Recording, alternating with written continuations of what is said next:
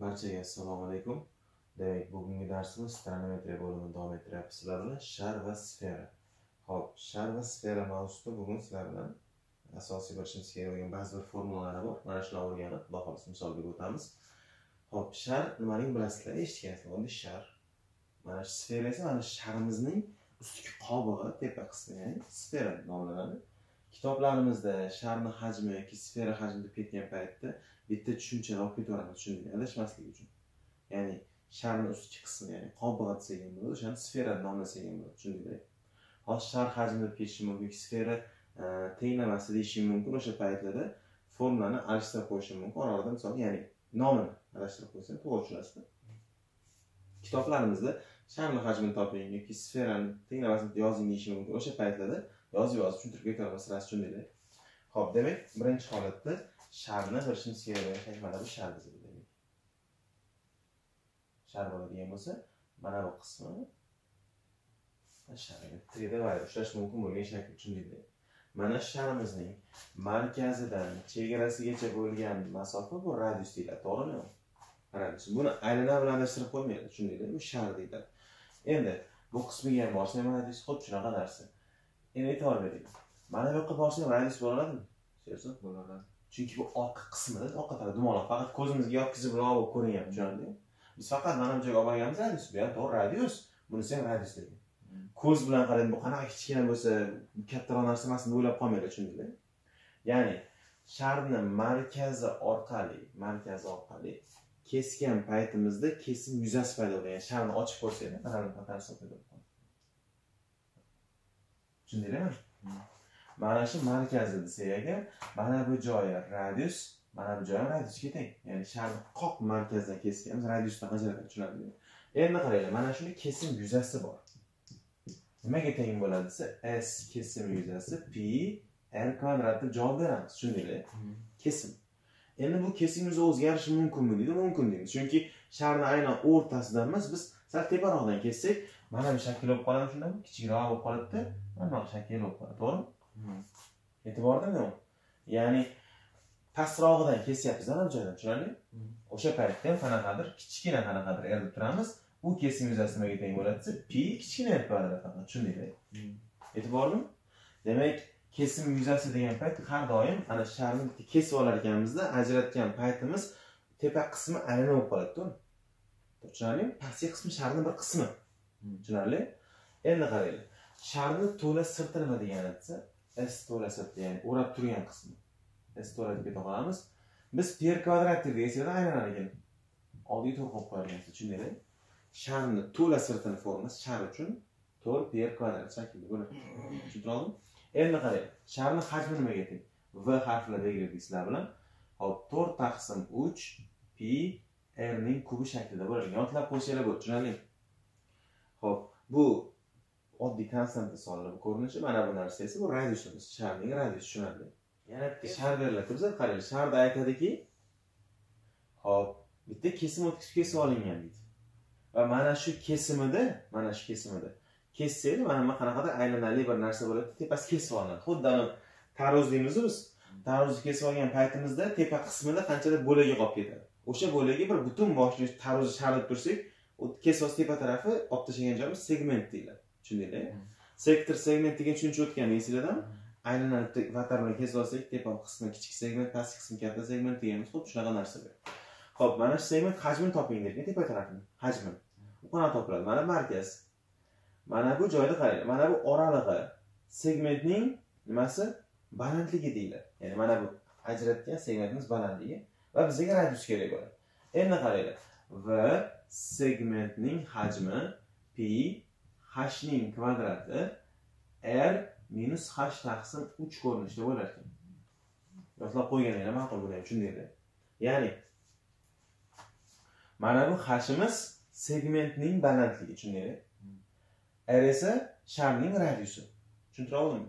Mana bu r emas bu. Mana bu ayni nima bo'lib qoladi tegi pastki qismi dedimku. U kichkina r emas u. Katta r bu shar uchun tushundinglar endi qaranglar ikkinchi masala. Mana bu joyda ya'ni bu formulani yodlab olasizlar bo'ldi yoki ko'pincha biz aytadi aylana shar markazidan deydi qanchadir masalan ikki ikkiga teng bo'lgan masofada kesib olindi deydi. Kichik segmentni toping deydi. Kesib olgan paytimda sizlarga berilayotgan ikki pastdagi qismi sizlarga tepasi kerak tushundinglar masalan radius besh deydida. Besh degan bo'lsa jami besh bo'lsa mana bu joyni ichida kesib oldi. Ikkidami tepasini hech qolib ketadi mana shu joyga uch kerak hechga tushundinglar ikkini emas. Misol uchun tushuntira oldimmi ya'ni ko'pincha markazdan gap boshlab ketadida ikkiga teng bo'lgan masofada kesildi. O'sha payt ikkini qo'yib ketadi o'quvchi adashib. Shunaqa qilib qo'ymasanglar bo'ldi tushundinglar ho'p hajmni gaplashdik to'ra sirtni gaplashdik. Ho'p aylana tenglamasi degan tushuncha bor sferani tenglamasi bor qanaqa bo'ladi xuddi biz bir paytda aylana tenglamasida x minus a ning kvadrati qo'zdi. Qo'shilgan y minus b ni kvadrati teng r kvadrat degan formula bor edi. Esinglarda shu narsaniki shartiga faqat z qo'shiladi uchda ya'ni 3d variant bo'lganligi uchun uch o'lchamli faza bo'lganligi uchun z ham qo'shiladi. Ya'ni x minus a ning qo'zdi nimasi kvadrati plus y minus b ning qo'zdi kvadrati plus z minus c ning qo'zdi kvadrati teng l ning kvadratiga aytyapmiz tushunarli? Ko'ryapsizmi endi qarang mana shu holatda sizlar aytgandek a blar o'sha paytda aylana markazi deganmiz. Endi a b clar sharning markazi tushundinglar yoki sferamizni markazi. R esa uni radius tushunarli ho'p bularni tenglama ko'rinishi ishlashni aynan tenglamas degan mavzu o'tganmiz. Bundan hozir bitta ikkita misol bundan ham ko'rib ketamiz misoldan ichida. Tushuntira oldimi? Keyingi masalalarimiz qaranglar aytadiki e, bir narsani bilishimiz kerak. Masalan mm, sharimizni qanchadir markazdan qanchadir masofada kesib oldik. Kesuvchi o'tkazinglar tushunarli tekisni kesuvchi tekisga o'tkazdik va mana bu markaz. O'sha paytda markazdan kesuvchigacha tekisgacha bo'lgan masofa beriladi. Qanaqadir h kichkina h deb turib oladimi? Va mana bu qismi qanaqadir kichkina r bo'ladi. Nimaga desa chunki kesib olgan paytimda mana bu joy aylanadan iborat bo'lib qoladi deb kelishdik ya'ni doiradan yuzadan iborat bo'lib qoladi. O'shani kichkina r bu tushundinglar mana bu markazdan turib bu yoqqa chegara nima bo'ladi bizada. Katta r. Pifagor teoremasi o'rinli tushundinglar ya'ni radiusning kvadrati teng kichkina h kvadrat plus kichkina r kvadrat. h bu markazdan o'sha kesimgacha bo'lgan masofa tushundinglar ikkinchi masala aytadiki o'sha kesim o'tkazildi deydi. O'tkazilgan paytda deydi mana bu radius bilan deydi ya'ni markaziy katta radius bilan deydi nechidir gradus burchak hosil qildi deydi. Mana bu burchak bo'ladi tushundinglar o'sha payt? E'tiborli yoki ba'zi savollarda aytadiki hop buni aytgan paytda mana bu forma ishlatasiz hozir bo'ldi keyingi holatlarimizda e, ko'pincha shunaqa joylari bo'ladiki urinma o'tkazadi. Tashqaridan bitta sharga urinma o'tkazib yuboradi o'sha paytda aylanadagi mavzular bor aylana urinma degan mavzular. O'sha narsani bir bilishinglar kerak urinma qoidalarini. Chunki o'sha paytda o'sha payt. Hozirchi mana shart gaplashyapmizu lekin asosiysi mana bu mana bu vaziyatlarda oddiy aylana sifatida qarab ketyapmiz qarang ichidagi oddiy pifagor teoremalari ishlab ketyapti. Tushunyapsizmi? Shunchaki shar bizga nima kerak? Hajmini bilishimiz kerak to'la sirtini bilishimiz kerak tushundinglar biror bir kesim bilan kesib olgan paytimizda kesib olgan paytimizda mana bu qanaqadir shakldagi aylana paydo bo'lib qolishini bilishimiz kerak. Eng katta kesim yuzi qachon bo'ladi sharni? O'rtadan ha qoq markazidan o'tib ketgan tushundingmi qolgan paytda kesilganlar hammasi mana bundan kichikroq kichikroq kichikroq bo'lib ketaveradi tushuntiryapmi demak eng katta to'lasi e, kesim yuzi bo'lishi uchun mana bu diametrdan o'tib ketishi kerak tushuntiryapmi diametr nimani bilasizlar ikkita radius tutashtirsa diametr bo'ladi ho'p savol yo'q bo'ldi demak xudo xohlasa misol boshlasak ham bo'ladi yozib olamiz demak birinchi savolga e'tibor berasizlar birinchi savolda aytyaptiki rasmda ko'rsatilgan figurani ox o'qi atrofida aylantirishdan hosil bo'lgan jism hajmini toping radius uchga teng debdi Qaranglar, e'tibor bering y o'qi bu bu o'q x deyamiz va shuni aylantiribdi x o'qi bo'yicha xuddi ypg'imiz borku yotkazib aylantirardik bayroqqa o'xshab xuddi shunaqa narsa. Aylantirsam mana bu figura pastga tushib qoladimi? To'g'rimi? Va mana bu narsa bu yoqqa o'tib qoladi to'g'rimi yo'qmi e'tibor bersak agar to'g'ri qo'ydim. E'tibor bersa aylantirgan paytini orqa tarafi dumaloq sharri paydo qiladi yarmini. Bu taraf esa uchburchak ya'ni konusni. Qo'pol qilib aytganda morojniyni konus morojniyimiz bor uchi mana bu qaymoqli joyi mana bu nonli joy. Tushundinglar mana shu hajmni topishimiz kerak biz hozir. Bo'ldi oddiy narsa ekan demak mana bu joy chegara berilgan bizga minus to'rt deyilgan mana bu joy uch deyilgan bu yoqda uch deyilgan. Demak tushundimki mana bu joy radius nechi bo'lgan ekan. Radius uch ekan. Ha radius o'zi deb kitob ham aytganida mana uch deb tushundinglar radius uch bo'lgan. Mana bu konus uchun balandlik mana bu joy yotqizib qo'yilgan. Konusda faqat bu. to'rt to'rtga tengmi endi minus to'rt deya olmaymiz chunki balandlik bo'lolmaydi to'ppa to'g'ri demak konus asos mana bu sharni doirasi teng bo'ladi bu bo'lolmaydimi bo'laoladi bo'ldi uni o'z o'zidan v bizga noma'lum bo'lgan qanaqadir o'sha hajm teng bo'lar ekan v konusni hajmiga qo'shaman v sharni hajmini faqat nimasini yarmini ha yarmini tushundingmi chunki yarmi bu taraf yarim shar ketdik formula bo'yicha hop konus formulasi bir taqsim Uch. R kvadrat ya'ni s asos ko'paytirib h dedik pi r nimaga tengchi mana bu r bunda ham r o'sha o'sha. Uchmi? Ha uch kvadrat nechi bo'ladi? To'qqiz. to'qqiz. Ko'paytirib himizchi to'rt. To'rt tushundingmi?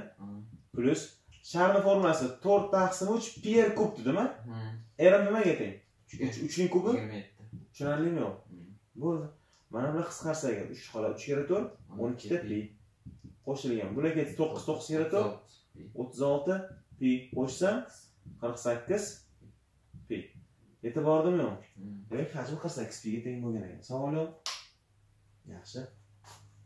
Buni formulani bilasizlar deb yozmayapman ho'p keyingisi uchinchi savol. Agar sferaning radiusi ellik foizga orttirilsa ya'ni o'sha radius rda boshida nechi bo'ladi? ellik foiz oshsa? Bir besh. Ha bir yarim. R ortsa degan qo'shardik esinglarda Hmm. ha bu degani boshida oddiy r bo'lgan ana endi mana bu bir yarim r bo'lib qolibdi. Ellik foiz oshibdi. Tushundinglar Hmm. aytyaptiki shartida sferaning yuzi necha foizga ko'payadi? To'la sirtini yuzasi. Endi qaranglar o'zi umuman formulasi nimaga teng desa to'rt pi r kvadrat to'g'rimi yo'q? Hmm. demak sferani o'zgarishi ha yuzasini o'zgarishi. Nimaga bog'liq har doim? Radiusga bog'liqmi? Ha demak radiusi bir yarimi kirib kelsa nechi chiqadi javob kvadrat. To'qqiztasi to'rt. Ya'ni bir yarim o'n besh kvadrati.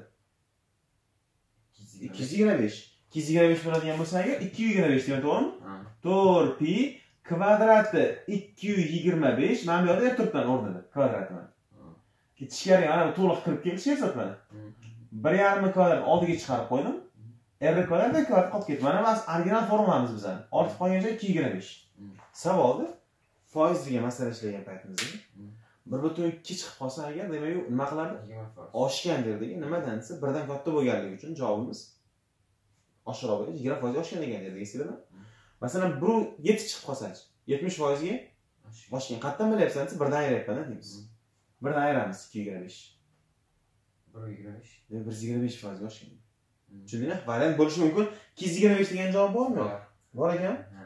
demoqchi bo'lgan qaranglar ya'ni ko'rgan o'quvchi mana bu ikki yuz ikki yuz yigirma beshga qarab turib shunchaki oshar ekan deyishi mumkinda.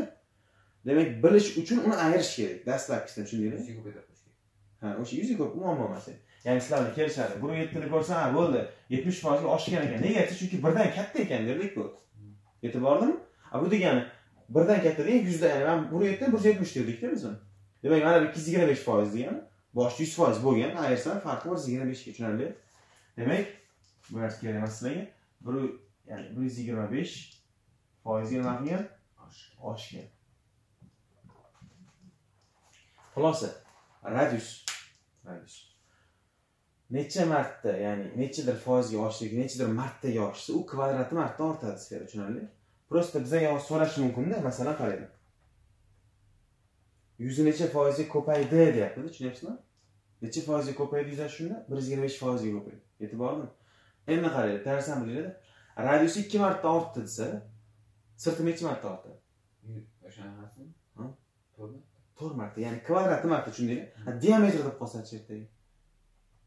Diametr ham radius bilan bir xil kvadrati marta farq qilaveradi tushunmadingmi? Nimaga deysan? To'g'ri o'zingiz nimaga deysan? Qara ho'p diametr nimaga teng ikkita a bo'ldi. R nimaga teng d taqsim degan Hmm. a formula s barobar to'rt pi r kvadratmidi Hmm. o'rniga olib kelib qo'ysang agar mana bu narsani d ni olib kelib qo'ysang.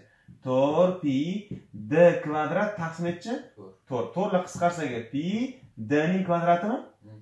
demak formulada faqat d ga bog'liq desa agar d ikki marta ortdi desa u ham kvadrat marta farq qilar ekan lekin to'ri ham bor siyosat qara. To'rt bu mana bu qirq bo'lmaydimi farqi yo'q. U son u doim o'zgarmas turadigan son formulani soni u pi ham o'zini soni u konstant sonlar hammasi. Hamma gap radiusda hozir hamma gap nimada hozir bu yerda chunki pi oddiy narsa bu yerda hozir to'r oddiy bo'lganidek buni oldida bir ko'rinmay turibdi bir ham oddiy sonda turaveradi hozir oldida. Tushunarli? Demak diametr ikki marta oshirsa ikkini kvadrat nechi bo'ladi? To'rt. Yuz to'rt marta ortar ekansan demak ba'zi savolda diametr deyish mumkin. Uni radiusdek tasavvur qilib berasan tushundingmi radius bersa diametrni bir xil alishtirib yana yoqqa tushundingmi bo'ldi o'chiraver buni ketib bordi ho'p demak oshganligini bildik sizlarmi keyingisi ho'p to'rtinchi savol. To'rtinchi misolda aytyaptiki radius o'n uchga teng bo'lgan shar tekislik bilan kesilgan. Hmm. kesib ol qarang. Kesilgan. Va aytyaptiki radius nechiga o'n uchmidi agar shar markazidan kesimigacha bo'lgan masofa o'nga teng bo'lsa markazidan Hmm. Kesimgacha mana bu joymi Hmm. nechi bo'lsa deyapti 13. yo'q sherzo o'nga teng bo'lsa deyapti tushundingmi shar markazdan kesimgacha bo'lgan masofa balandlik ha. o'nga teng bo'lsa kesimning yuzini toping. Boya sizlarga sk deb ketdi s kesim deb ketdimi? Hmm. kesgan payti mana bu joy qanaqadir nima bo'lib qoladi dedim. Aynan bo'lib qoladi to'g'rimi? Hmm. shuni radiusini so'ra mana bu joyda mantiqcha radius bo'ladimi? Hmm. yuzini so'rayapti real r kichkina topib olsam u muammo emas qolgan mana bo'ladi katta yermi 13 ga tengmish. ha o'n tushunarlimi yo'qmi Hmm. endi qaranglar kichkina yer aniq o'sha hisoblasa bo'ladi. Demak o'z o'zidan R kvadrat barobar o'n uch kvadratidan ayram o'nni kvadrati. Gipotenuzadan katetda aytyapman to'g'ri uchinchi hujjat r kvadrat bir yuz oltmish to'qqiz. 69 chiqadi. bir yuz oltmish to'qqizga ketavering Hmm. hop oltmish to'qqiz r kvadrat oltmish to'qqizmi? Hmm. A, kesim yuzasi mana bu yuza nimaga teng bo'ladi desa P s k p r kvadrat. E, kichkina r qilamiz endi uzr chunki katta r qilolmaymiz kichkina r kvadrat A, r kvadrat hozir topdik to'g'rimi Hmm. olib kelib qo'ysam 69. pi tushundinglar Hmm. bo'ldi savol bormi yo'q kesin topganimiz bo'yicha pifagor qilganimiz bo'yicha yaxshi keyingi misolda radiuslari ikki uch to'rtga teng bo'lgan metall sharlar eritilib bitta shar quyildida shu sharning hajmini toping deyapti. Uchta shar bor ekanda. Radiuslari ikkilik uchlik va to'rtlik kattaroq uchta. Ular eritilibdi. Va ularni bitta qolib kelsa bitta hamma o'sha er- e, rastor anaqasidan endi eritilgan suyuqlikdan bitta shar yasashni tuxumimiz hammasini ishlatib o'sha sharni hajmi qanaqa bo'ladi deyapti tushundinglarmi demak bir narsa aniqki buni hajmi nechi bo'lgan bo'lsa eritilganda ham o'sha o'sha hajm qoladi to'g'ri masalan to'g'rimi? Xuddi bir energiya bo'lsa erigan ikkinchi energiya o'sha o'tgan paytda energiya saqlanish qonuni bor. Fizikada shunaqa ya'ni saqlanishi kerak energiya o'sha narsa o'shanaqa narsada hop mana bu holatda ham hajmi nimaga teng desa v barobar to'rt taqsim uch pi r Kub. uzr uzr bunday qilamiz hozir to'rt taqsim uch pi r kub dedikmi sizlarmi qaranglar bu holatda mana bu radiusimiz nechiga teng buni hajmi. Ikkini olib kelib qo'ysam to'rt uch mana bu joy sakkiz tushunarli. Demak hisoblaydigan bo'lsa mana bular qisqarib ketib nechi bo'ladi o'ttiz ikki ya'ni mana buni hajmi xullas tayyor shunaqada? Bu v bir deylik. V ikki ham bor xullas v uch ham bor. Uchta hajmini qo'shsam yangi hajm kelib chiqadi. Tushundinglar ya'ni uchta hajmdan qo'shsam yangi hajmdagi shar kelib chiqadi. Bu degani uchta hajm yig'in desa demoqchiman. Teng bitta umumiy vga to'g'rimi yo'qmi Hmm. mana bu formula to'rt taqsim uch hammasida bor to'g'rimi?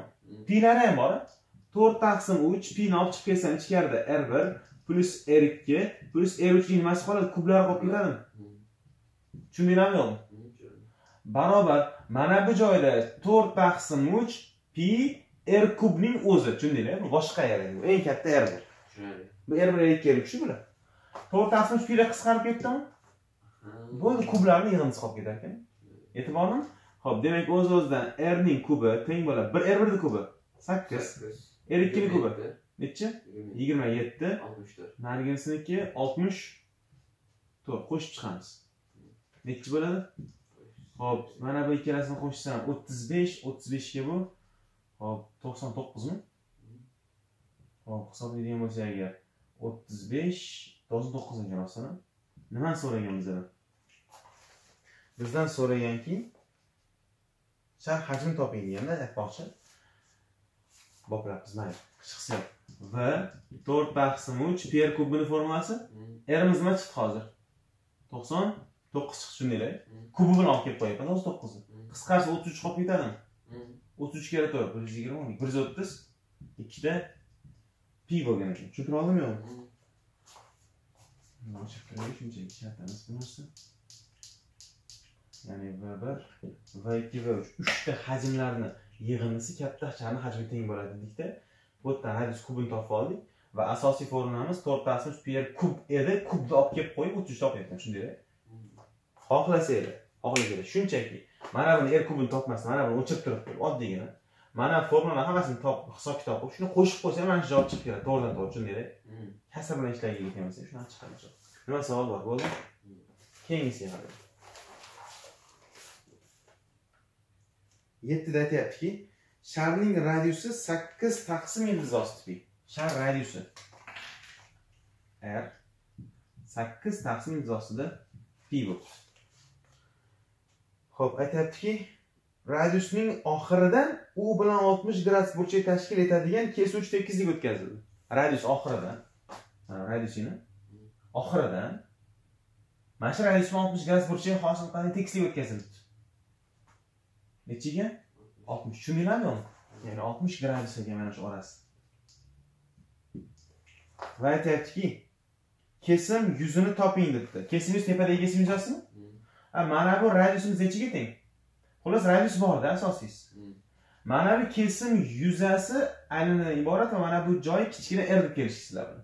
Sekin balandlik tortib to'qson gradus qilib olaman o'zim uchun uchburchak savol endi o'z o'zidan mana bu joy sherzod mana bu joy bor o'ttizda o'ttiz gradusmi Mm. chunki o'ttiz gradus qarshisida ekan gipotenuzaning demak o'z o'zidan radius r taqsim ikkiga teng bo'lar ekan to'g'rimi Mm. tushunarlimi bo'ldi. Hop unda kichkina erimiz teng bo'ladi. Buni yarmi nechi bo'ladi. To'rt taqsim izosida pi sakkiz ikkiga bo'lib qo'yyapman tushundingmi kichkina r chiqdi. Shuni yuzasi so'ralyapti s barobar pi kichkina rning kvadrati kesim yuzasi tushunarlimi? O'n olti demak pi ko'paytirilgan kvadrati o'n olti taqsim ildizni kvadrati pini o'zi qoladi. Javobi o'n olti. O'n olti ko'ryaptimi yo'q? Tushundinglar endi xohlasanglar bunaqa o'ttiz gradus degan variant kelmasa yopishgan katet gipotenuza qilib kosinus oltmishdan foydalanasizlar shu javob chiqadi baribir tushuntira oldim ho'p savol yo'q yaxshi yozib olamiz. Demak sakkizinchi savolda aytyaptiki bizaga shar berilgan va mana shu sharni bo'yash uchun massasi ellik birliklik mana ellik birlikka teng bo'lgan qanaqadir bo'yoq ketadi nima degani bu? Ya'ni bitta sharimizni bo'yash uchun ellik kilogrammmi yoki ellik bir grammmi bo'yoq ketar ekan tushundinglar mana shu ko'rinishdagi bo'yoq ketadi aytyapti agar mana shu sharni deyapti radius ikki marta kattalashsa deyapti. Diametri ikki marta diametri ikki marta kattalashsa qancha bo'yoq ketadi deyapti. Tushundinglar endi diametr ikki marta kattalashdi degani radius ikki marta kattalashdi degan boya kelishyapsizlar radius ellik foiz oshdi degan diametr ham shunchaga oshdi deganik deysizlarda bo'ldi. Demak o'z o'zidan radius ikki marta oshgan ekan aslida. Bo'ldi. O'zi butun biz sharni bo'yagan paytimiz sirtini ustini bo'yaymiz to'g'rimi? Ichini emasmi bu degani bo'yoq aslida yuzasiga ketganda yuziga. S to'la sirti to'rt pi r kvadrat deydi esinglarmi shar sirti. Endi mana bu radius turibdi endi s yangi sharimiz uchun sirti to'rt pi mana bu r edi boshidan endi necha bo'ldi ikki marta oshdi. Sizlar bilan kelishdik boya radius ikki marta oshsa uni to'la sirt yuzasi kvadrati marta oshadi dedik. To'g'rimi? Demak mana bu joyga erimizga ikkini kvadrati. To'rtta r kvadrat kirib keladimi? Mm. o'z o'zidan mana bu to'r oldinga chiqsa biz bilgan o'sha isbotlagan to'r oldinga chiqib ketgan varianti to'rt pi r kvadrat mana bu biz bilgan formula. Tushundinglar. Demak to'rt marta kattaroq shar paydo bo'lib qolar ekan oddiy tilda aytganda Mm. bu degani to'rt marta ko'proq ketar ekan massasi kilogramm to'g'rimi? Ya'ni mana bu oddiy biz bilgan mana bu oddiy s ga qancha ketayotgandi? Ellik. Ketayotgandi. Endi to'rtta s bo'lyapti bizada tushundinglarmi yo'qmi to'rtta s qancha ketadi? X ketadi. X gramm massali bo'yoq ketyapti. Tushundinglar shu proporsiya qilsanglar oddiygina ikki yuz. ikki yuz. Yoki unaqa proporsiya unaqa narsalar shart emas aslida. Shunchaki o'ylasa. Demak bitta narsaga ellik ketyapti. Undan to'rt marta ko'prog'iga to'rt barobar ko'proq ketadi. Ya'ni to'rtga ko'paytirsam bo'ldi deysizlar tushundinglarmi bo'ldi. Ikki marta oshyapti. Bu degani ikki marta ko'proq bo'yoq kerak bo'larkan deb qo'yish kerak emas ekanda. Tushuntira oldim. Sirtini ikki marta kattalashtirmayapti ular. Radiusini. Tushundinglar bo'ldi. Keyingisi. To'qqizinchi savolda aytyaptiki shardan tashqaridagi m nuqtadan uning sirtiga mn vatar o'tkazildi. Shardan. Tashqaridagi nuqtadan m n vatar o'tkazildi. Urinma o'tkazildi uzr urinma o'tkazildi tushundingmi va mana shu urinma o'tkazildi. Agar m nuqtadan shar sirtigacha bo'lgan eng qisqa masofa oltiga teng bo'lsa deyapti. Eng qisqa masofa mana tikka tushadi tushunarlimi diametr o'rtasida o'tib ketadi to'g'ri o'tib ketadi. Oq qiyshiqroq o'tmaydi tushunarlimi tikka o'tadi. Mana shu nechi bo'lgan ekan. Oltiga teng bo'lgan ekan. Va aytyaptiki sharning markazigacha bo'lgan masofa o'n besh. Ya'ni sharni markaziga mana shu m nuqtada gap tugamayapti. Shargacha bo'lgan eng qisqa masofa olti markazgacha esa o'n besh deyapti. Tushundinglar? Bu degani markazga to'g'ri sinmasdan boradi. Bilasizlar bu narsani? Mana markazga boradi. Jami o'n besh bo'lgan bo'lsa mana bu nechi bo'ladi orasi unda. o'n bir. E to'qqiz. To'qqiz tushunarli. E'tiborli. Chunki jami o'n besh bo'lishi uchun oltini olib tashlasa mana bu ikki qismi olib ketadi. Tushunarli va aytyapti savol beryapti. Mn vatar uzunligini toping debdi mn ni uzunligini toping. Mana bu bizada qanaqadir noma'lum qanaqadir x deb tursam bo'ladimi? Masofa. Mdan sadr to'qson gradusga tushadi. Ha agar radius tortsam tushundingmi? Radius tortaman endi mana bu nechi bo'ladi to'qson gradus chunki urinma bilan radius to'qson gradus bo'ladi eslanglarmi bo'ldi. Nechiga teng radiusimiz to'qqiz. To'qqiz bu yog'i ham to'qqiz bo'ladi tushunarlimi mana bu gipotenuza o'qimadim qaranglarchi o'n mana bu katetmi manimcha o'n ikki ekan endi boshqacha yo'li? Ya'ni o'n beshning kvadrati ayrilgan to'qqizning kvadrati ya'ni gipotenuzadan katetni ayryapman kvadratini ikkinchi katet kelib chiqishi kerak x kvadrat tushundinglar demak x kvadrat teng ayirsalar xullas bir yuz qirq to'rt chiqadi x teng bo'ladi o'n ikkiga. Tushunarlimi savol yo'q. To'qsonlikni tushundinglarmi qaranglar buni boshida shar deb gapirib qo'yapti. Qolgani aylana mavzusida mana vatar urinma degan mavzuda ishlatilyapti sezinglar. Ho'p keyingisi.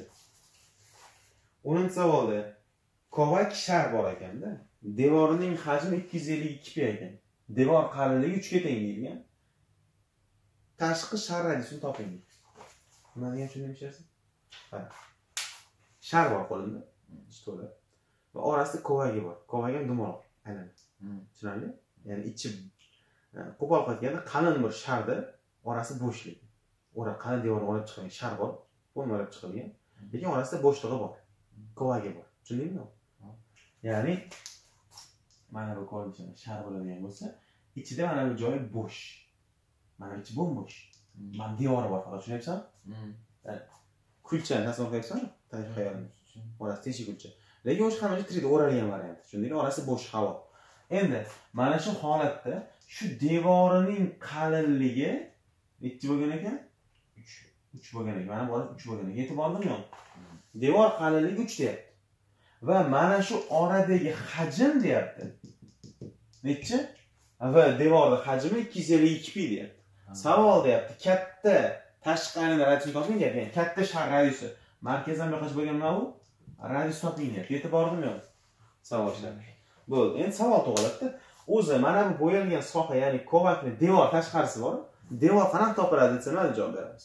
Polniy yuzidan ichini olib tashlasak? Полный shar hajmida ichidagi bo'shliqdagi shar hajmini olib tashlasak. Hmm. hajm tushundingmi yuzar emas. Ko'zingga yuz bo'lib ko'rinadi aslida aslida hajm ayriladi. Chunki hajmku javob. Ketdik. Demak biz qidirayotgan v devor aslida nimaga teng bo'lardi desa aslida v katta shardan ayrama v kichik shardi tushundinglarmi yo'q? Kichkina sharni hajmi ketdik. Devorni hajmi nechi deylik shartimizda? Ikki yuz ellik ikki pi barobar. Sharda ham katta sharda ham kichik sharda ham formulasi to'rt taqsim uch pi bo'ladi to'g'rimi? To'g'rimi yo'q? Tushunmayapsan shu yoshini tushundim Hani bir chegara hisob qilmayapman. Katta shar nimaga teng desa katta rning kubi deyman to'g'rimi? Minus to'rt taqsim uch pi qarab turadi mana bu joyda r yozishim kerak emas chunki bu kichkina shar radiusi nimaga teng bo'ladi o'ylab ko'rchi. Kichkina. Boshqacha bog'laylik mana shularga mana bu katta radiusdan sherzod. Orada uch olib tashlasa mana bu joyga olib ketaman. Tushundingmi tushunmadingmi mana bog'layapmizda kesmadan ho'p mana bu radiusimdan uchta olib tashlasam biz birga mana bu oralig'idagi qolib ketadi mana bu joy qolib ketadi. Tushundinglar Hmm. orasini olib tashlasam e'tiborda shu nimasi bo'lishi kerak? Kubi savol yo'qmi qaranglar pilar chiqib ketib bo'linib ketdi. Tushunarli? Hmm. e'tiborda? Mana bu joyga qaranglar va hokazo ikki yuz ellik ikki to'rt taqsim uch chiqib ketdi pilar qisqarib ketdi. Ichkarida r ning kubi minus r minus uchning nimasi qoldi? Mana qo'ls yopib e'tiborlimi yo'q Hmm. xohlasanglar mana buni a kub minus b kub deb ochinglar. Xohlasanglar просто mana buni a minus b qo'ls kubi bo'yicha ochib chiqinglar. Tushunarli farqi yo'q holat bir xil. Bir xil javob chiqadi. Mana bu to'rt bilan ikkalasi qisqarsa agar hop oltmish uch chiqar ekan tushunarli? Qisqarsa oltmish uch demak oltmish uch ko'paytirib uch proporsiya qoldi mana bu shakl bo'lib qoldi. Tushunarlimi yo'q? Hmm. savol yo'qmi formula bo'yicha ochaman yoki ishlab ketaveramiz? Qaranglar birinchisini qaranglar r kub turaversinmi sherzod yoki a kub minus b kub deb ochib ketaymi A kub minus B. yaxshi. Kublarni olib tashlab birinchi a minus b deb yozish kerak edi mana a minus b-imizga mana minus ta'sir qiladi ichkarisiga plyus mana uch uch. Yetib bordimi Hmm. R kvadrat. keyingisida r kvadrat plyus ab kirdik ya'ni r r plyus uch to'g'rimi minus uch. ha uzr r minus uch to'g'rimi bo'ldi endi plyus r minus uch nimasi Hovuz kvadrat. mana qo'l katta bo'lsa ham bo'ladi tushunarli. Rlar to'ppa to'g'ri erlar ketdi. Uchta o'zi qolib ketdimi? Uch bu yoq mana uch bilan bo'lindi. Nima qolib ketdi? Oltmish uchta o'zim Hmm. Mana bu joyda qarang tezlashtiramiz qarang r kvadrat turibdi Hmm. Bu yoqda ham R kvadrat chiqadi. r kvadrat mana hisoblab olar ekanmiz r kvadrat minus uchta R. plus r kvadrat minus oltita R. oltita r plus To'qqiz. to'qqiz tushunarli Hmm. r kvadrat r kvadrat uchta r kvadrat bo'lib ketdimi Hmm. Minus minus minus to'qqizta rmi Minus. plyus to'qqizda turib tursin bu yoq oltmish uch olib o'tsa minus qilib ellik yetti ellik to'rt bo'ladimi? ellik to'rt. ellik to'rt minus ellik to'rt tushunarli o'nga olib o'tyapmiz teng nolga. Hamma misol uchga bo'lib oldi. R kvadrat minus uchta r minus uchga bo'lsam o'n sakkizmi? o'n sakkiz o'n sakkiz. o'n sakkiz barobar nol. V yettidan olti karra uch o'n sakkiz beradi to'g'rimi? Hmm. yig'in desa plyus uch chiqishi uchun bunga minus qo'yib qo'yaman. Bu degan radiusimiz nechi bo'lgan ekan? Olti bo'lgan. chunki radius manfiy bo'ladi tushundinglar Hmm. bizdan o'zi nimani so'ragandi katta erdimi Hmm. shu nechi bo'lgan ekan? Olti. Olti yetib oldi. Yarim bo'lgan ekan. Ha, ikki marta mana bu yog'i ham uch bu yog'i uchli joy bo'lgan ekan aslida tushunarli bo'ldi. Savol yo'qmi? Yaxshi xohlasanglar mana bu joyda er kub turib tursin mana bu hovuz kubi bo'yicha ochib chiqib ichkariga minus ta'sir ettirsanglar o'sha javob chiqadi baribir mana bunaqa hisob kitob bo'ladi. Yo matematik holati. Ochib chiqish. Keyingisi o'n birinchi savol. Ikkita sfera yuzalarining nisbati ikki ekan. Ya'ni s bir birinchi sfera s ikki ikkinchi sharda bitta ikkita sferalarni nisbatlari ikki ekan yuzalar nisbati. Va aytyapti diametrlar nisbatini toping deyapti. Hop bu sfera deganda o'zi s birni yuzasi sfera yuzasi nimaga teng bo'ladi? To'rt pi r bir kvadratmi? To'rt pi r ikki kvadratmi? Teng ikki bo'lgan ekan. Aslida shunaqami Hmm. ya'ni mana bu narsani ochib oldimda. To'rt pini qisqarib ketdi nima qoldi? R bir taqsim r ikki qoldi to'g'rimi? Hmm. endi o'ylaymiz yoqqa berib yuborsam ya'ni kvadrat qo'l mana qildim qarang r bir taqsim r ikki qo'l nimasi Kvadrati. kvadrati teng ikkiga demak r bir taqsim r ikki Ildiz ikki. kvadrati teng ildizosi ikki deb turadi plyus minus nimani qolaman bo'ptimi Hmm. shunchaki ildizosi ikki deb turaman hozircha endi chunki mana bu holat ketib kelgan qarang bu holatda d bir taqsim d ikki degani aslida radiuslar nisbati bilan diametr nisbati tengmi teng emasmi Teng. Boya aytdik o'zi nechadir marta oshdi bu ham shuncha oshardi nechadir marta kamaysa ham shuncha marta kamayadi unda mana bu javob chiqib bo'lgan ekan aslida ko'nglim xotirjam bo'lishi uchun yaxshi tushundimmikin o'zi chiqdimi rostdan shunaqamikin deyish uchun olib kirib qo'yaman tushundingmi hozir o'zi chiqib bo'lgan hop d birni o'rniga r bir taqsim ikkini qo'yish ikkita r bir qo'ysa bo'ladimi meni gap ikkita r ikki tushunarli r ikkilar qisqarib ketadimi r bir taqsim r ikki qolib ketdimi ha d bir taqsim d ikki r bir taqsim r bir xil ko'rinishda bo'lib qoldi qarang. Ko'rinish holipi a bu degan biz topgan narsa bir rostdan shunaqa narsamikan Hmm. demak ilzosi ikki bo'ldi tushundingmi bo'ldi. Ho'p keyingisi. Tenglama berilgan ekan sferaning radius uzunligini so'rayapti. Demak r so'ralyapti ekan yana bu yerda. Aylan tenglamasida to'la kvadrat shakliga keltirarlik esinglardami forma yasadik Hmm. bu ham xuddi shunaqa. Avval x kvadrat bo'yicha forma yasaymiz x kvadrat yoniga to'rt x topib kel minus to'rtta x. Nima qilsam formulani beradi? Plus? Plyus plyus to'rt to'rt. tushundingmi? Ya'ni mana bu ikki abadiy joyi mana bu yerda. O'shani to'rt x beradi. Ho'p. Plyus y kvadrat savol y ga para bormi? Yo'q. demak hech narsa qo'shib berdim u bir o'zi bo'lgan ekan tushunarlimi hop. Plyus z ga barobarmi z Bor. kvadrat plyus o'nta z. Nechini qo'shishim kerak? Plus yigirma besh. chunki mana bu ikki abada beshi bo'lganda. Kvadrati bo'lishi kerak unda plyus yigirma Besh. savol. Mana bunga e'tibor beringlar plyus to'rtni o'zim qo'shdim. Hmm. plyus yigirma besh o'zim yashadim jami yigirma to'qqiz o'zim yasab olgan ekanman savol. Minus yigirma to'qqizdan nima o'zgaradi? Mana shu biz bilgan yangi hisob kitob qo'shib olgan sonlar yo'q bo'lib ketib qoladimi Hmm. lekin misoli minus o'ttiz besh turibdi. Ko'rinyaptimi sherzod? Endi Farq qara ko'rmayapman. mana nol tushdimi hop minus o'ttiz mana bu joyga minus o'ttiz besh barobar nol bo'ldi. Yetib bordimi yo'q. Hmm. davomida endi qaranglar mana bu narsa formula to'g'rimi? Yo'q Hmm. x minus ikkining qo'shdan Kvadrat. kvadrat. Asli bu kerak emas bizga. Plyus y kvadrat. Plyus mana bu joyda. Z plyus beshning kvadrat. Tushunarli? Hmm. minus yigirma to'qqiz minus o'ttiz besh. Oxiri to'rt. minus oltmish to'rt o'ng tarafga o'tsa plyus oltmish to'rt bo'lib o'tadimi Hmm. mana x minus aning kvadrati mana y da hech narsa ayrilmagan ekan nolli nuqta bo'lgan ekan. Mana bunisi qanaqadir minus besh degan javob chiqadi. Xullas chiqadi sonda bular markazlari qiziq emas sizlarga. Sizlarga nimasi qiziq? Radiusi qiziq. Ha to'ppa to'g'ri chunki formulada kvadrat kva- oxirida r kvadrat bo'ladi esinglarmi demak radius nimani kvadrati? Sakkizniki shuni sakkiz degan javob chiqargan. Oltmish to'rtdan chiqaramiz. E'tiborni tuginamas ekanmiz ho'p savol yo'q a yaxshi yozib olamiz. O'n uchinchi savolga e'tibor beramiz bu savolimizda aytyaptiki shar sirtining yuzasi quvga teng debdi shar sirtining yuzasi o'zi nimaga teng formulasi to'rt pi r kvadrat deyiladida shu narsa quvga teng deb shart berib qo'ydi tushunarli? Va aytyapti hajmini nimaga teng debdi hajm degani formulasi v barobar to'rt taqsim uch pi r kub. Demak hajm degan tushunchani quvga bog'lash kerak ekan. Bitta mana bu radius muammoda bu yoqda radius topib olib kelib qo'ysa bo'ldi ekan. Tushunarli? Hmm. bundan kelib chiqadiki radiusning kvadrati teng quv bo'lingan to'rtta pi tushunarli? Hmm. unda kvadrat berib yuborsam ildiz berib yuborsam r barobar ildiz ostida quv ikki ildiz ostida pi tushunarlimi yo'qmi Tushunarli. to'rtdan ikki chiqarib oldikda. O'rniga olib kelib qo'ysam bo'ldimi? Demak so'ragan hajmi to'rt taqsim uch pi radiusni o'rniga kvadrat e, kubi kirib kelsa agar qaranglar ildiz osti quvning nimasi? Kubi. Mana bu joyda ikki ildiz osti nimasi? Kubi kubi degani mana bunda ya'ni uchta ketma ket quv bor degani ichida. Sakkiz o'yin. ha uzr kim kub bermabmiz sakkiz to'g'ri mana Hmm. endi qarang mana bundan ildiz chiqarish uchun bilasizlar uchta quv bor degani ikkitasidan chiqib ketadi to'g'ri bitta quv qolib ketadimi? Hmm. mana bu ikkalasi qisqarsa ikki qoladi. Ya'ni ikki taqsim uch. Mana bu joyda pi turibdi bitta quv chiqdi ildiz quv qolib ketdi tushunarli. Pastga tushdim. Bunday xuddi shu ahvol? Pi chiqadi ildiz pi qolib ketadi. Tushunarli? Hmm.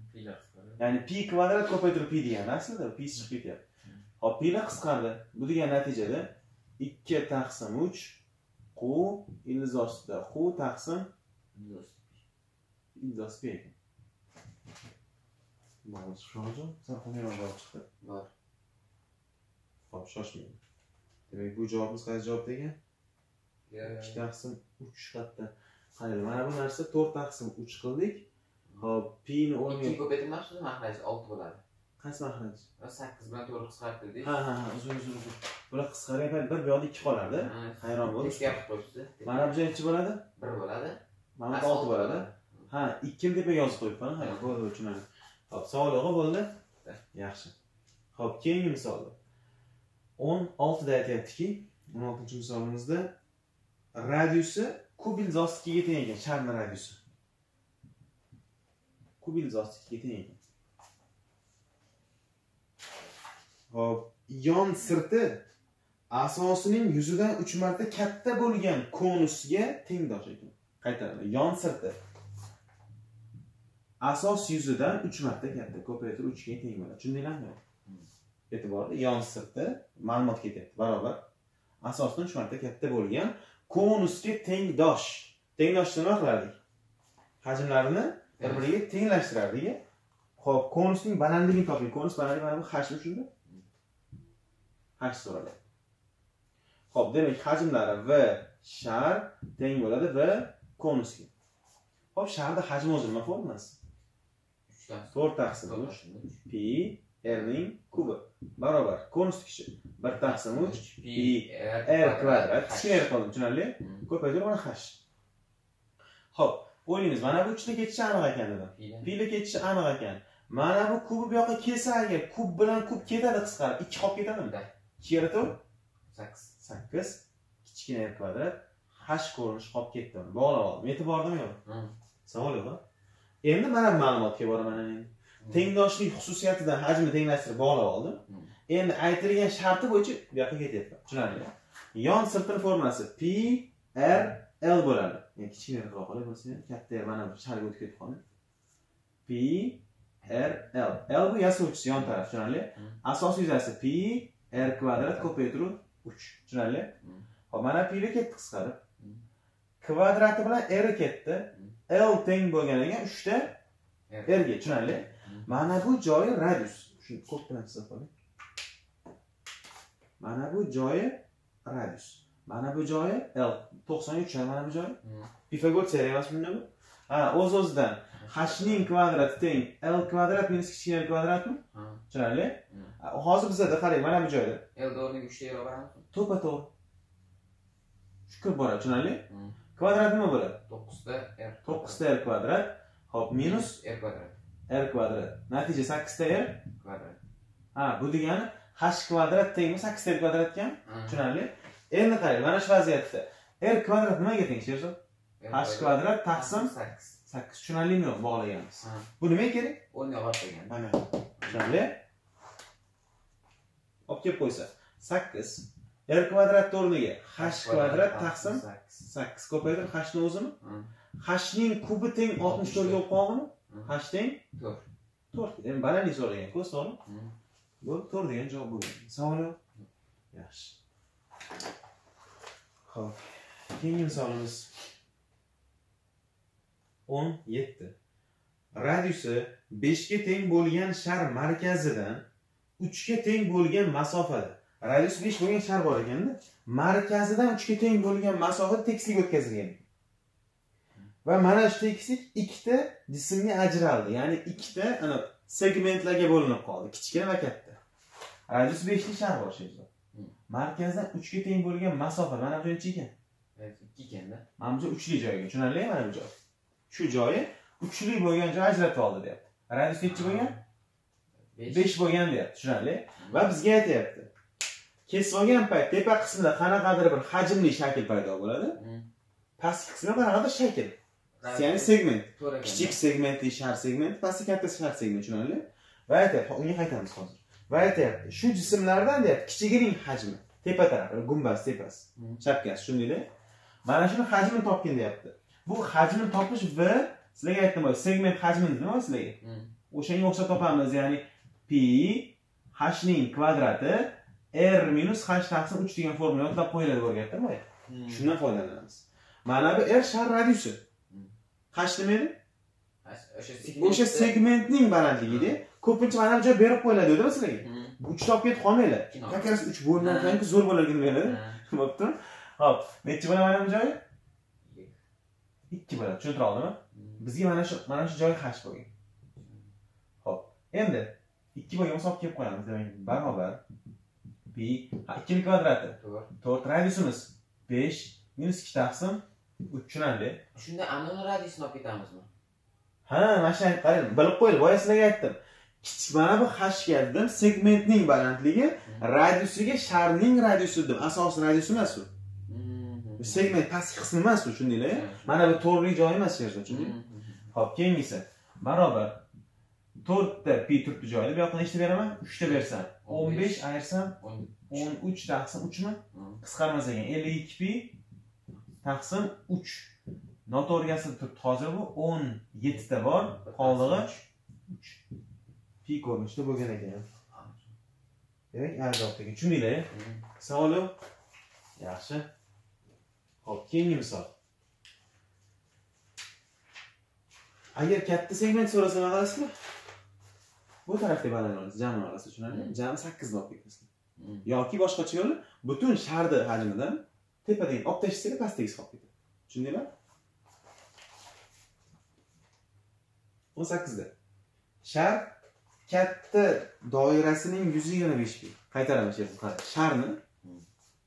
To'la sirti demayapti. Katta doirasining sirti yigirma besh deyapti. Katta doirasining yuzi yigirma besh pi deyapti. Nima degani ha ya'ni kesma tekislik o'tganda Hı.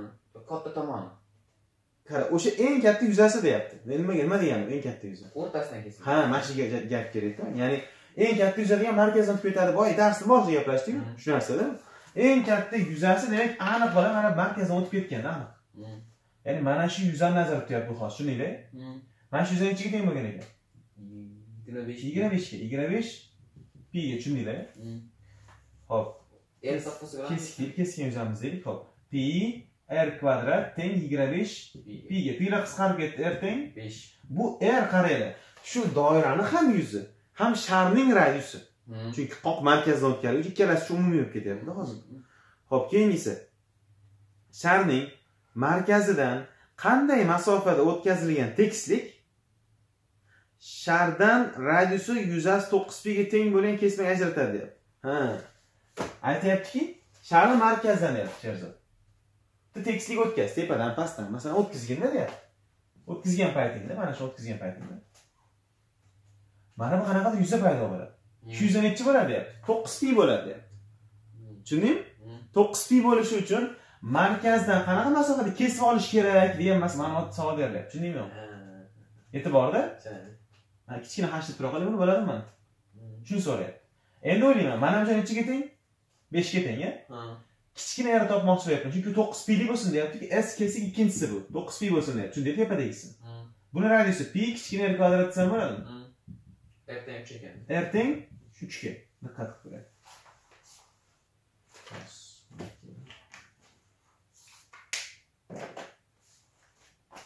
Mana bu joyga tortsam kesma. Mana bu radius katta yer bo'ladimi? besh ekan. Mana bu joy nimaga teng? Kichkina yerga tengmi? Balandsi to'rt bo'lar ekanda. Bo'ldi, 3 4 5 ta kelib chiqyapti. Yozish shart emas, Pifagor qiladi. Yo'q. Dedik. Mana bu ko'rinish ham shakl kelib qo'yapti mana. Mana bu joyi 3, mana bu joyi 5, mana bu joy albatta hashimiz 4 chiqadi. Chunki 3, 4, 5 Pifagor teoremasi tushunarli. Demak, hashimiz 4 ga teng bo'lgan ekan. Savol yo'q? Yaxshi yozib olamiz. Demak, 19-savolga e'tibor beringlar. Bu savolimiz aytayaptiki, tomonlari 10, 10 va 12 ga teng bo'lgan, ya'ni nima bor ekan? Uchburchak bor ekanda. Uchburchak. Va mana shu uchburchak deyapti, sharni ustiga kiygizilgan. Ya'ni uchburchak shar tomonidan urinadi. Hozir tushuntiraman. Urinadi. Va uchburchak tekisligidan sharni markazigacha bo'lgan masofa to'rtga teng deydi. Shar radiusini toping degan savol berildi. Endi tushuntiraman, nima deyapti o'zi. Maktabda liniyaga ishlatgansizda har xil tipdagi anaqali dumaloqli uchburchak, to'rtburchak. O'sha vaziyatda mana bunaqa uchburchaklarimiz bo'ladi hozir. Katta uchburchak, mana bunaqa uchburchak bo'ladi, orasi bo'sh bo'ladi. Bilasizlar mana bunaqasi. Mana bu shaklda bo'ladi, esingizmi? Bu yoqda santimetr bor, bu yoqlarda ham orasi xullas bo'sh bo'lardi. Tasavvur qilamiz, shar bor.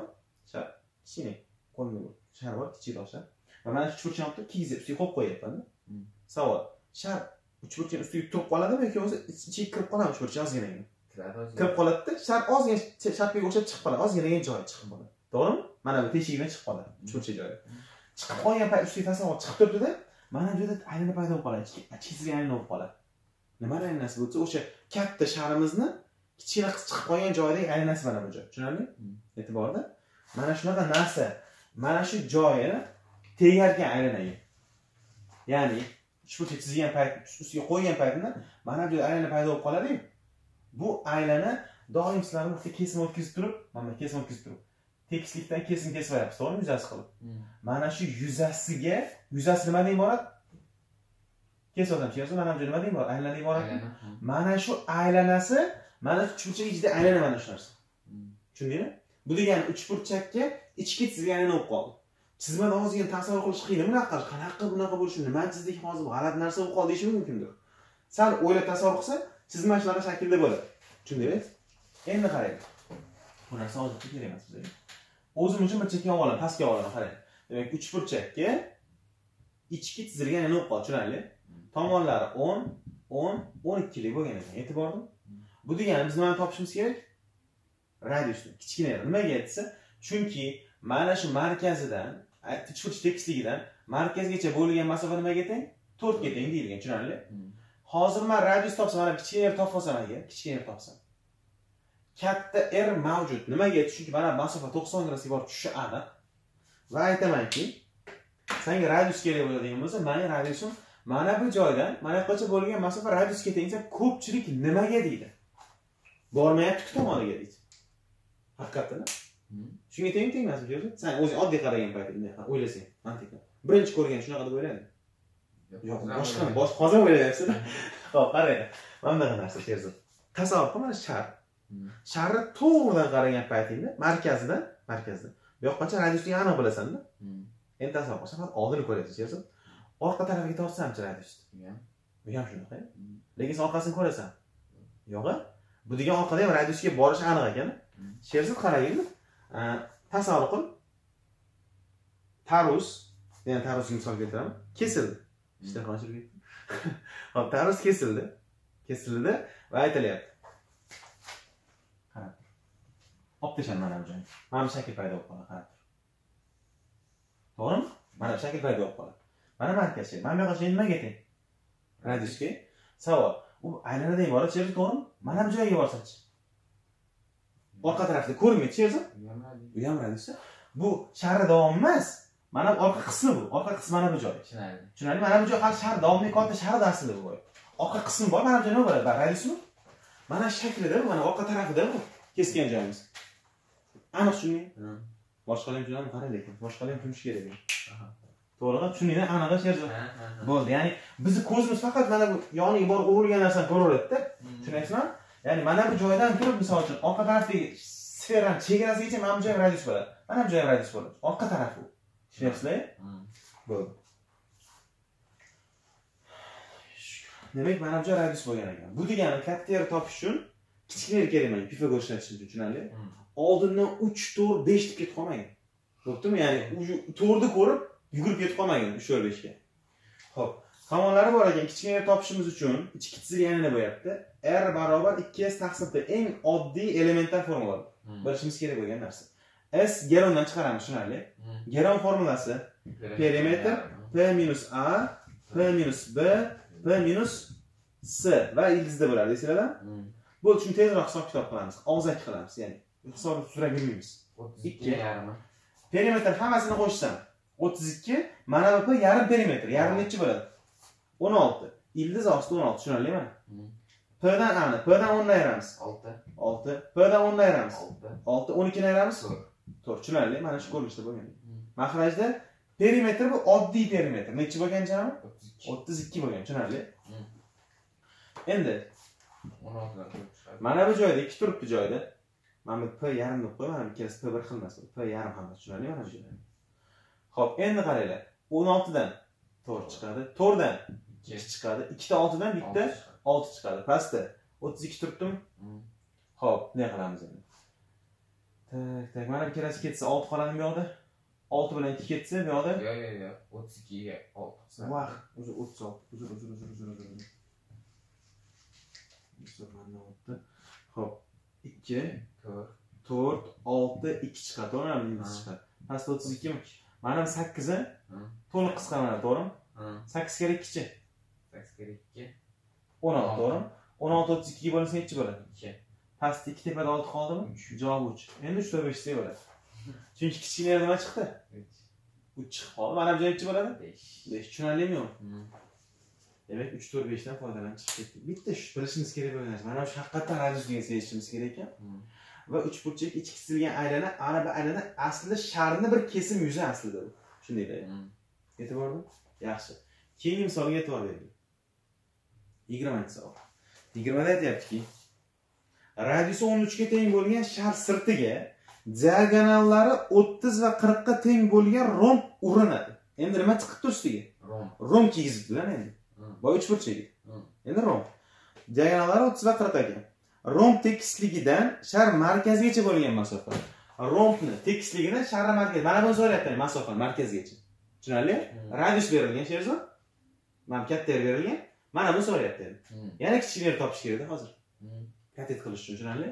Endi romb shunaqa ahvolda chizamiz ya'ni ichkariga mana bunaqa romb chizilgan tasavvurni qilib olamiz yana shunaqa narsalarni. Mana shunaqa romb bo'lganda mana buncha aylana bo'lgan mana. Tushunarli. Tushunarli. Endi mana bu markazdan yoqqacha bo'lgan masofani so'rayapti bizdan hozir. Bir narsa aniq. Mana bu joyi kichkina yer bo'ladi. Mana bu joyi katta yer bo'ladi. Tushundinglarmi yo'q. Tushunarli. Mana bu to'qson gradusga joylandik. Tushunarlimi yo'q? Bo'ldi. Rompni tomonlari mavjud bizada. E, diagonallari mavjud. Qaranglar. Bunday qila qoling tushunarli bo'lishi uchun man romb chizib olamanda. Bunga ichkisiga aynan gapirishyapsiz hozir sizlar. Mana bundan gapirishyapsiz tushunarlimi? Hmm. bo'ldi ho'p to'rtta diagonali bor. E, ikkita diagonali bor. To'rt bu kesishgan payt to'rtta katetga ajralib bundan katet bo'lib qoladi. Kesishib qoldi kesishib qoldi tushunarli? Hmm. mana buni so'rayapti mana markazdan mana bu yoqqacha bo'lgan masofa kichkina bo'ladimi? Hmm. E, mana buni kesib olyapman qarang. Oddiy yo'l bilan. Aynan tekkan mana tegib o'tgan joy bor mana bu joy. Tushunarli. Mana bu joy radius bor to'qson chiqqan radius bo'ladi ham balandlikcha bo'ladi. Savol diagonalda kesishgan payt teng bo'lakka bo'linadimi yo'qmi bo'linadi. Shartda o'ttiz va qirq deyilganda qirqni yarmi katta diagonali yigirma o'ttizni yarmi o'n besh. O'n besh. Yigirma gipotenuzamiz yigirma. Besh. Ya'ni qaranglar s kvadrat teng mana bu tomonni kvadrati ya'ni yigirmani kvadrati plyus o'n besh kvadratdan kelib chiqyapti xullas. S teng yigirma beshligi tushunarli? Yetib bordimi Ha, s yigirma besh ekan sherson endi mana bu kichkina r kerak. R aslida ham balandlikcha ham radius. Tushundinglar bo'ldi. Endi bu holatda demak kichkina r yuzinaga chiqsa bo'ladida. Ya'ni r ni ko'paytiramiz yigirma beshga ikkiga bo'lamiz yuzani beradi to'g'rimi? Yoki ikkita katetni ko'paytiramiz o'n besh karra yigirma taqsim ikki ham yuzani beradi. Bular qisqaradi to'g'rimi? Ho'p mana bu yigirma besh bilan o'n besh qisqarsa bunga beshta bunga Hmm. bular qisqarsa to'rtta qoladimi bu yoqda radius teng nimaga? o'n ikki. ikkiga. Radius o'n ikki bo'lgan ekan. Mana bu joy qarashyapsiz mana bu joydagi uchburchagimiz kichkina mana bu joy o'n ikki bo'lgan ekan tushunarli mana bu nechi bo'lgan ekan o'n uchmi mana bu hashni so'rayaptimi ha. bo'ldi hashimiz nechi bo'lar ekan hop beshmi Ha, yigirma besh besh bo'lar ekan hop h kvadrat teng bir yuz oltmish to'qqiz minus buni kvadrat bir yuz qirq to'rt yigirma besh chiqadi h teng besh. besh masofa besh bo'lgan ekan tushunarli endi sal tushuntirib ketaman qaytadan kimlargadir tushunarli ishlarni boshqacha bo'lib ketdi deyishi mumkin boshqacha yo'l rompni balandligini topish mumkin? Hmm. chunki romb ikkita diagonal bor. Yuzani topib olamiz birinchi o'rinda yuzasini. Ho'p ikkita diagonal bor. Tomon topib olish mumkinmi yo'qmi Hmm. ya'ni d bir kvadrat plyus d ikki kvadrat teng to'rtta kvadrat o'shani a chiqsa bo'ladi a chiqarsa bo'ladi xullas a chiqdi. Rombni balandligini topib olsanglar hashini hashni yarmi r beradi. Mana bu yerda beradi. Hmm. o'sha r beshlik o'n ikkini bilsanglar bo'ladi tushunarli. Keyin bu yoqqa o'n ikkini olib kelib to'g'ri burchak uchburchak ishlatganimizdek bu bilan bir xil bo'lib qoldi. Mana bu uchburchak bo'lib qoldi. Tushundinglarmi savol yo'q a ishlasa bo'ladi. Yaxshi. Ho'p keyingi savol yigirma ikkinchi misolda aytyaptiki radiusi o'n besh va yigirmaga teng bo'lgan ikki shar markazlari orasidagi masofa yigirma besh ekan. Ikkita shar bor ekan kesishgan bir biri bilan kiygizilgan bir yarim qanchadir qismi. Va natijada deyapti ularning ularni radiuslari bittasi o'n besh ikkinchisi yigirma. Lekin markazdagi orasidagi masofa deyapti yigirma besh deyapti. O'zimcha o'ylayapman sherzod. Agar ikkita shar bir biriga tegib turganida deyapman sherzod. Hmm. bittasi o'n besh edi bittasi yigirma edi jami nechi bo'ladi hech kesma lekin u nechi degan? Yigirma nimaga qisqa? Chunki bir birbiriga kiygizilgan bir biriga tushunarli. Tushunarli. e'tiborli shuni hisobiga. Kiyilgan bir biriga? Va natijada kesishgan paytida qanaqadir yuza paydo bo'ladi. Aynan mana bunaqa yuza paydo bo'ladi to'g'rimi yo'qmi e'tiborlimi ya'ni sharni olgan paytimizda kesim yuzasi paydo bo'ldi shunaqa narsa paydo bo'lib qoladi. Umumiy kesishgan nuqtasidan kesim o'tkazib oldimda shu yuzani Hmm. aylana mavzuda ham o'tgan shunaqa narsa. Endi bunda faqat shar deyapti gapirdi Hmm. tushundinglarmi bo'ldi. O'sha payt sizlar radius topgansizlar buni olib turamiz ana endi. Qaranglar mana markazi mana markazi. Bittasi nechi degan o'n besh degan. Mana o'n besh mana bu joygacha o'n besh degan aniq chegarasigacha. Hmm. buni chegarasigacha yigirma yigirma deyilgan orasidagi masofachi yigirma besh deyilgan. Qaranglar o'n besh yigirma yigirma besh. Mana bu joy nechi bo'ladi To'qson. to'qson tushunarlimi chunki mana bu joy yigirma beshligi jamini pifagor sezib qoldik. Hmm. mana bu joyi ham balandlikcha ham radius bo'lib qoladimi kichkina. O'n besh. tushunarlimi yo'qmi Hmm. demak qaranglar. Hozir topgan mana misolimiz emasmi? Tomonlar o'n besh yigirma yigirma beshlik Hmm. Kichkina nima chiqdi? O'n ikki shundan topamiz. Ya'ni ikkita yuzdan tenglashtiryapmiz ana bu radiusni ko'paytiramiz. Yigirma beshga xuddi shu savolga o'xshab taqsim ikkiga bo'lsa yuzani beradi ya'ni balandlikni asosi ko'paytiryapman ikkiga bo'lyapman. Tushunarli? Mm. ikkinchisini yuzasi ikkita katet ko'paytiryapman ikkiga bo'lyapman tushunarli? Mm. shundan kelib chiqadi. Bo'lsam xullas radius teng chiqdi o'n ikkiga. Tushunarlimi? Mm. mana bu radius o'n ikki bo'lsa past nechi bo'ladi. o'n ikkimi unda ichki mana bu qaranglar kesishgan payt mana bunaqa aylana paydo bo'lib qolganda shuni yuzini so'rayapti tushunarlimi ya'ni yondan qarayapti. To'g'ridan ke- qarasa dumaloq shakl bo'ladi bemasdi tushunarli? O'sha yuz nimaga teng bo'ladi pi kvadrat deydigan bo'lsam agar olib kelib qo'ysam bir yuz qirq to'rt pi bo'lib qolar ekan. Tushunarli? Mm. to'g'risini aytyapti shuning uchun man Tushundim. insof bilan tushunyapsan. Anaqa qaralaydi ho'p masalan man aytardim. Yusuf hozir o'quvchi bo'lsam aytardim. Samarqandda bo'lganda to'qsonlikni bilmasamchi ertaga derdim to'qsonlik ideya kelmay qoldi o'quvchiga nima qiladi Yigirma? qanaqa uchinchi hamma tomonlar o'n besh yigirma yigirma besh Man to'qsonligini bilishim. to'qsonlik aqlim yetmayapti masalan biz to'qsondan foydalanib katet katet bor. ketdik shuni burchini topib qoladi keyin nima qiladi u nima foydasi bor shuni topdi ham deylik keyinchi bir o'yladi. ha to'qson u aql aytmadi bunaqasiga ko'chib chiqyapti misol uchun u bola nima qiladi shu o'rinda nima degan tushundinglar tushundim. o'yla o'yla xullas shu radius topishga nima qilib bo'lsang Mm. bu radius aslida balandligini ham sezib turginda Mm. shu balandlikni topish kerak burchak Mm. birinchisi yuzadan ketadi siyosat qarab mana bir qash yana qashimiz erga teng er ko'paytirib yigirma besh taqsim ikki yuzani beradiku deydi va ikkinchi marta narigi yuzasi geronni ikkinchi yuzdan topib oladi kamida. Mm. tushundinglar chunki to'qsonlikni bilmaydiku hali ikkiga bo'lish kerakligini o'sha mana bu formulani geron topib oladi. Va ikkita yuzani tenglashtirib mana bunga shu topgan yuzani tenglashtirib topadi. Er u muammo emas chiqsa chiqarsa bu birinchisi. Mm. ikkinchisi. Xohlasa mana bu shakldagi uchburchak bilmayapti yigirma besh to'g'ri burchakligini o'n besh yigirma yigirma besh turibdi. Tikka tushgan mana bir radiusimiz shunda bizada. Mm. mana bu joy h o'sha r turib tursin bu yog'ini x desa bu yog'i nima bo'ladi yigirma besh minus bo'ldi ikkita to'g'ri uchun uchburchak qilib tenglashtiradi tushundinglar radiuslarni Mm. o'shanda faqat x ga bog'lanib qoladi misol. X topib oladi masalan qanaqadir javob chiqadi keyin bu r topib oladi kichkina katet uchun uchburchak uchun. Tushunarli. tushunarlimi kamida o'sha. E'tiborli undan ko'ra nima qilish kerak? To'g'ri burchakligini bilish kerak. Tinchgina shu ho'p savol bormi yo'q? Demak darsni shu yerda yakunlasak bo'ladi. E'tiboringiz uchun rahmat. Sog' bo'ling